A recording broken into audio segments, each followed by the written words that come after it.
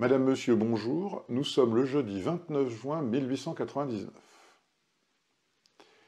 La consigne est de fermer sa porte aux journalistes. Le général de Gallifet, en prenant cette mesure, vient de se montrer avant tout sévère avec lui-même. Il semble se mordre encore les doigts des interviews qu'il avait libéralement accordées comme don de joyeux avènements au ministère de la Guerre.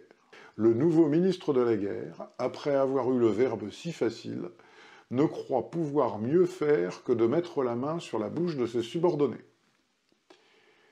Par une circulaire que tous les fonctionnaires et employés du ministère de la Guerre ont dû successivement émarger, le général de Gallifet notifie qu'il interdit à l'avenir de la façon la plus absolue à tout officier appartenant à l'administration de faire une communication quelconque à la presse. Toujours pas de nouvelles à Brest du Sfax qui doit ramener le capitaine Dreyfus, et évidemment les bruits courts.